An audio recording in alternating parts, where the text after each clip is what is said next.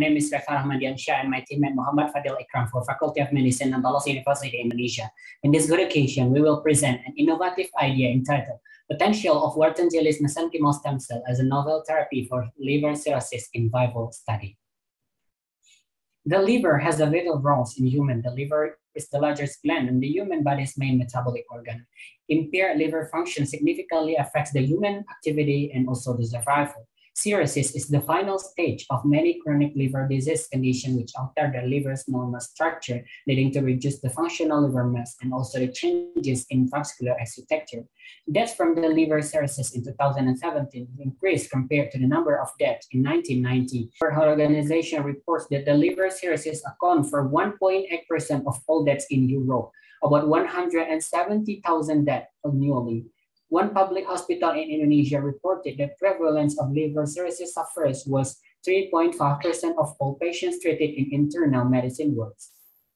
Advanced cirrhosis of the liver is associated with a decrease in plasma albumin. Liver cell function is impaired in patients with liver cirrhosis causing reduced albumin synthesis. Hypoalbuminemia is very common in patients with liver cirrhosis and has poor prognostic significance associated with decreased survival.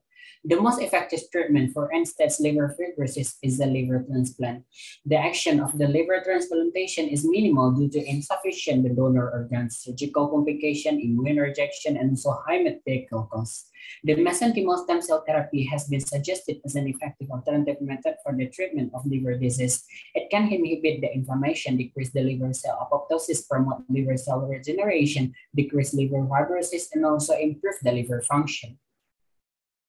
The study aims to find out the Wharton's Jelly mesenchymal stem cell potential as a novel therapy for liver cirrhosis by measuring the serum albumin level as a predictor in white rats in vivo to reduce morbidity and improve life quality in all parts of the world, especially in Indonesia. The start of the research is through experimental with posttest only control group design approach that uses experimental animals as research objects the preparation of experimental animals, the treatment, the blood draw of rats, the albumin examination are carried out in the Andalas University. This was conducted from May to December 2021.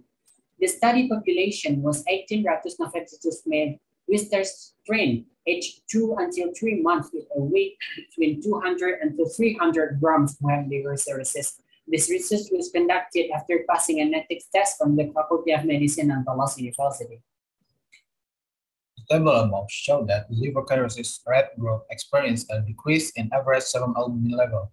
The positive control group had a lower mean serum albumin level of 3.09 gram per deciliter than negative control group or non-cirrhosis group of rats, which had an average of 3.72 gram per deciliter.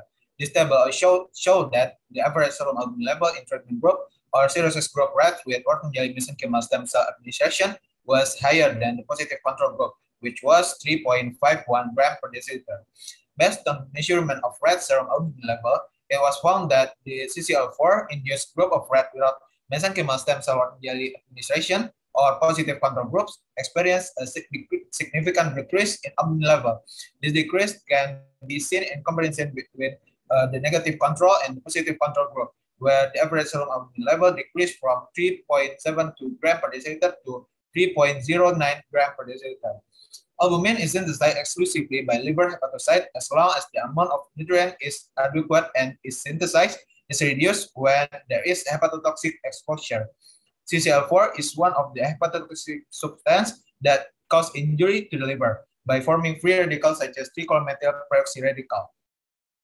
Based on measurement of most serum albumin, mesenchymal stem cell jelly administration in rat with liver cirrhosis improvement can be seen in the comparison between the positive control and treatment group, where the average serum level is increased from 3.09 gram per deciliter to 3.51 gram per deciliter.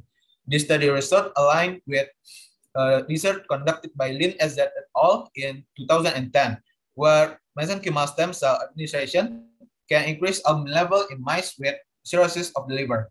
Mesenchymal stem cell jelly can differentiate into hepatocyte-like cell and express liver-specific genes such as albumin. The limitation of this study is that the induction of CCL4 is done intravesically, which can cause damage to organ other than the liver.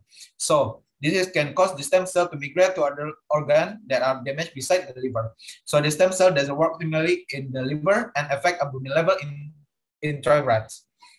Conclusion, mesenchymal stem cell therapy has been suggested as an active, effective alternative method for the treatment of the liver disease.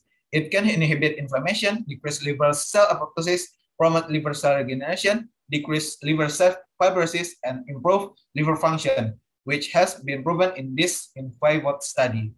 Further research can provide mesenchymal stem cell jelly into ways so that the stem cell can work more optimally in the liver.